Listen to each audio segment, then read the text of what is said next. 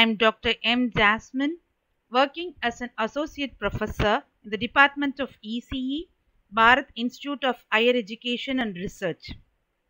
In the course microcontroller, now we are going to see memory organization and addressing modes of 8051.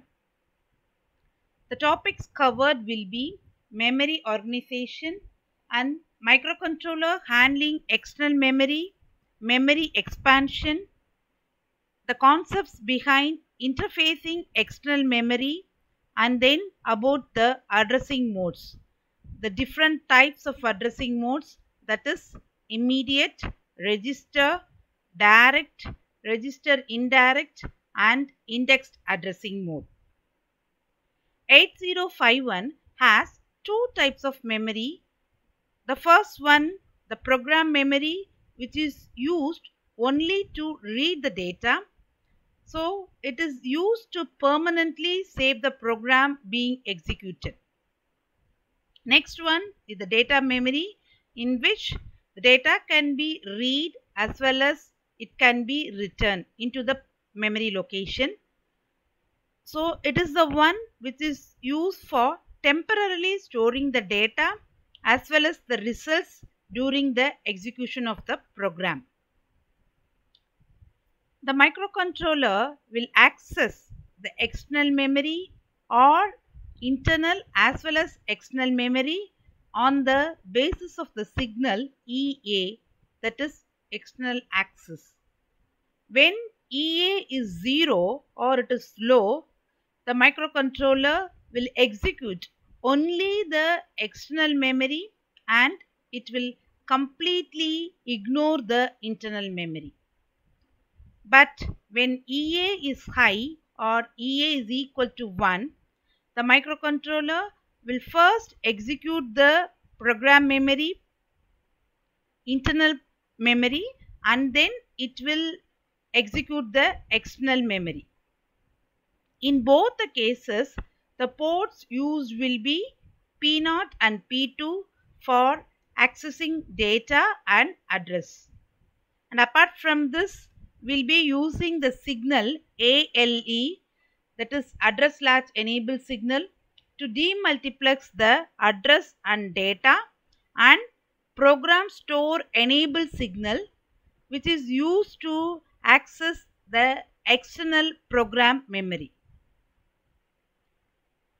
And moving on to this memory expansion concept, when there is a need to expand memory means when the memory requirement is not sufficient, we can expand the memory that is with a capacity of 64 kilobyte of 264 kilobyte of memory that is 64 kilobyte of RAM and 64 kilobit of ROM memory. In this case, the ports used will be port 2 and port 3. And for data transfer, the microcontroller will be using read signal and program store enable signal. So, read is the one which is used to read the data and program store enable is the one which is used to read the data from external program memory. And during the execution of the program that is in the external memory that is ROM, the microcontroller will activate the control output ALE. In that first the lower order address bus A0 to A7 will be available on port P0 and after that the higher order address bus A8 to A15 will be appearing on the port. And this is the diagram depicting the interfacing the external memory with microcontroller. That is the external data memory as well as the program memory. While accessing the data memory, first thing is that the read signal of the microcontroller will be connected to the data enable of data memory and write signal of the microcontroller will be connected to the write signal of the data memory. And after that whenever the address latch enable signal is activated, the address bus, that is lower order address bus, will be available and the data from the port P0 will be available on the data bus. And using the port P2, we can connect the higher order address lines A8 to A15 to the address bus of data memory. The same way for the program memory, again here the data will be 8 bit data and address will be of your 16 bit address and here to read the data from this program memory the program store enable signal should be connected to the output enable pin of program memory. This whole concept is activated when the external access signal will be low. So, when we go for this interfacing concept means the first case is that if the enable address is low, in that case the microcontroller will search the program from external program memory. And the second case is that the program counter, that is the program counter which will keep track of the instructions that is being executed. So, when the program counter is higher than FFFH for 8051, in that case we will be using this external memory concept.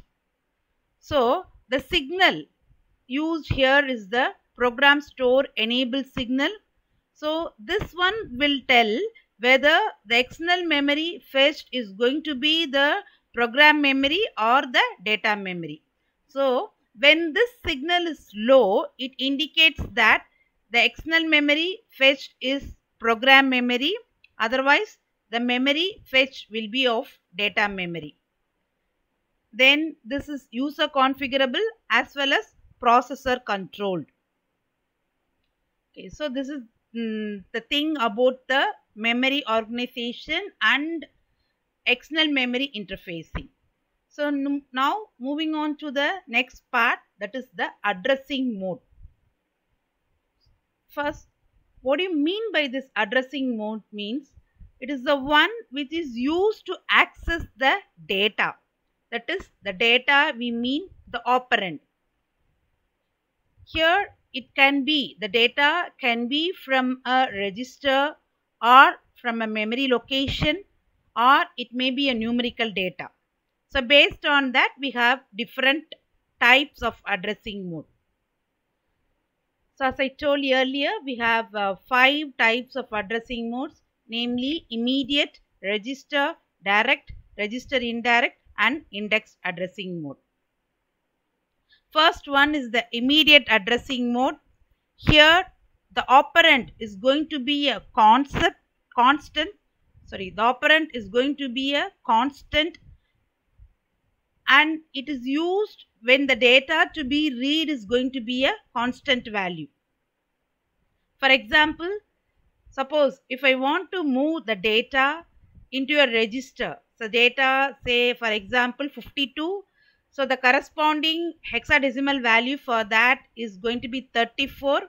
So if I want to move this data into a register, I can write the instruction as move R0 hash 34. So normally when we write the instruction like uh, when we want to move the data from one location to another location, the first part will be indicating the destination one and the next one will be indicating the source part. So the meaning of this is move R0 hash 34 means the value 34 is moved to the register R0. So how we can differentiate whether it is going to be a constant value or the memory location that is through the symbol hash. So whenever in the instruction if a hash symbol is present it indicates that the addressing mode used is immediate addressing mode. So this is one of the data transfer instruction. So after looking into the addressing mode, we'll see in detail about the instruction set and all. So now in this another example, we can see here move dptr hash 2550h which means that this value 2550 I'm going to move into the data pointer register. So data pointer register is going to be a 16 bit register. It will contain two 8 bit register namely DPH and DPL.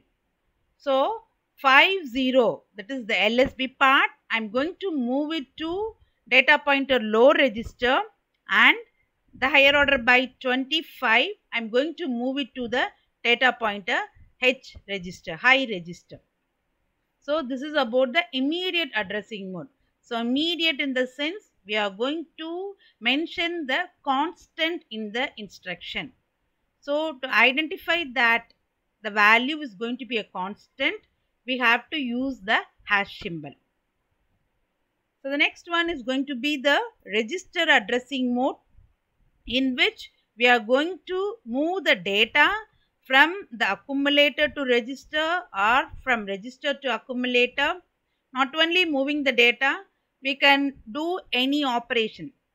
The arithmetic operation namely addition, subtraction, multiplication etc on the basis of the registers. So, a simple example is move a comma r5 in which the value in register r5 is moved to the accumulator. And next is add a comma r6 in which the value of the accumulator and the value in the register 6 r6 will be added and the result will be stored in the accumulator. The one more important point what we have to note in the register addressing mode is that so just now we have seen we have source part and destination part. So in register addressing mode the source and destination register must match in size. That is if source is of 8 bit definitely destination is also of your 8 bit. If destination is of 16 bit, source is also of 16 bit. There should not be any mismatches. For example, we can see move dptr comma a. This particular instruction will give an error. Why? Because a register is going to be, will hold only 8 bit data whereas this DPTR data pointer register will hold 16 bit data. So there is a mismatch in the data bit value. So this will give rise to an error. So the correct form of it will be either if I use my DPTR, the value I have to mention it is as a 16 bit value. Okay, the last instruction in immediate what we have seen move DPTR 25 F5H it's going to be a correct one. Or I can write it as move R, R7 comma DPL because R7 will hold 8 bit data. The same way DPL also will hold 8 bit data. Or another form is that move R6 comma DPH in which R6 as well as DPH will hold 8 bit data and the next one is going to be the direct addressing mode. So here we are going to mention the memory address directly. We are going to mention the memory address directly, not the constant. So here I can say the example is move R0 comma 40H meaning in the value in the memory location 40. The value in the memory location 40 is moved to the register R0. Same way move 56H comma A means the value in the accumulator is moved to the location 56. Same way I can write it as move a comma 4. Here 4 indicates R4. Not only R4, I can use R0 to R7. So in direct addressing mode, we are going to mention the memory location address. In that address, either I have to take the data or the data I have to move to that particular location.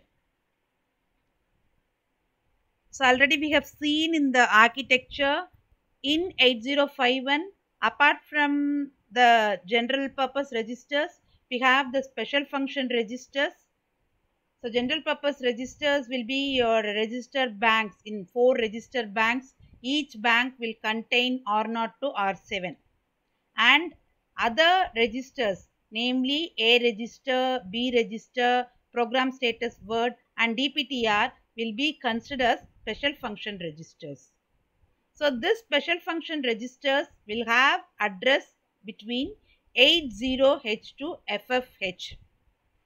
Right from 00 to 7F, it will be occupied by these register banks and after that the location 80 to FF will be occupied by special function registers.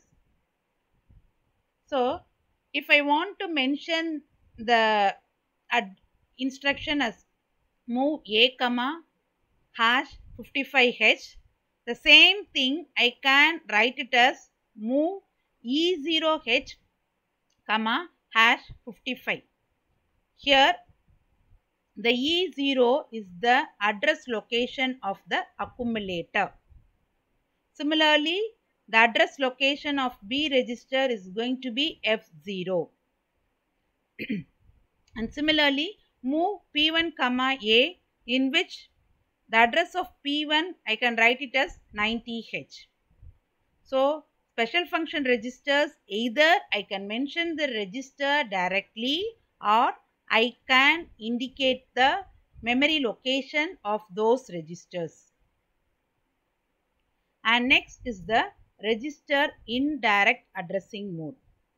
So here what's the difference between this register and this register indirect means first we are mentioning the value of the register. From in that register, I'll hold the memory location address and from that I have to take the data and move into some other location. For example, here I can see move R0 comma hash 40H. That means this register R0 will hold the value 40 That in the location 40 the value will be taken and then it will be moved to the accumulator.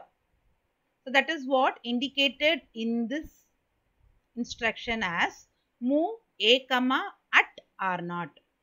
So in register indirect addressing we have this particular symbol at. So it moves the content of the location 40 content of the memory location 40 into the accumulator. And then again, if I want to move the next content, I can use the instruction increment. Increment R0, then mean that means the next location 41H and that 41H will be moved to the accumulator. So when compared to the C language, it is just like the pointers in C language is same as this register indirect addressing mode. So to, to know its significance further, we can analyze it through an example. So the main advantage of this register indirect addressing mode is that here the data access is going to be dynamic rather than the static one. Static is followed in your direct addressing mode whereas the accessing of data is going to be dynamic in register indirect addressing mode. we can have a better understanding by analyzing this particular program. So, write a program to copy the value 55H into RAM memory locations 40H to 45H using first case is direct addressing mode. The second case is register indirect addressing. In that we are analyzing two cases. One is without a loop and another one with a loop. The first case in direct addressing, first what I'll do is that I'm moving the value 55H to the locate to the accumulator. So accumulator will now contain the value 55. So this 55 I have to move to different location say 40, 41, 42, 43, 44. So what I'll do move 40H comma A. So the accumulator value will be moved to the location 40. Next the accumulator value will be moved to the location 41 then 42, 43 and 44. So every time individually I have to write the instruction. So this is the case of direct addressing. So the next case, two cases we are going to see about register indirect. The first one without loop, the second one with looping concept. So as such the first uh, step will be I want to have the data in my accumulator. So 55H will be moved to the accumulator. Then the location. The location I am moving to the register R0. Right. And after that as per the indirect addressing mode the content of the location will be moved right to from that to the accumulator or from the accumulator to that particular content of memory location.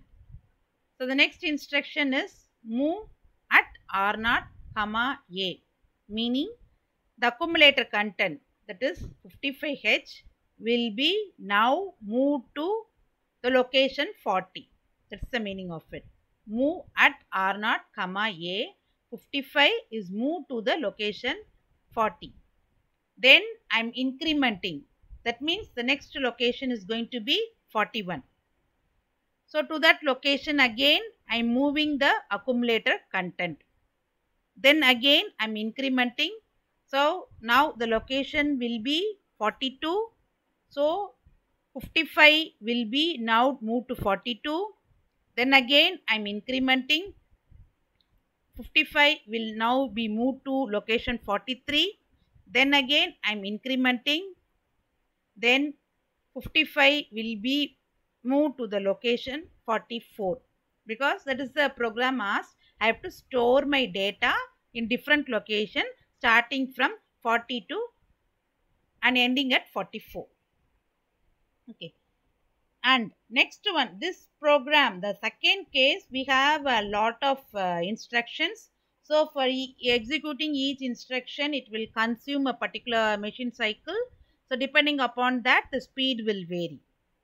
Right so now to further reduce these number of instructions I can go to the last type that is register indirect addressing with loop. So in this one first this uh, data I am moving it to the accumulator. Then as such the location I am going to place it in the register R0 so now the location is going to be 40, 41, 42, 43, 44, right.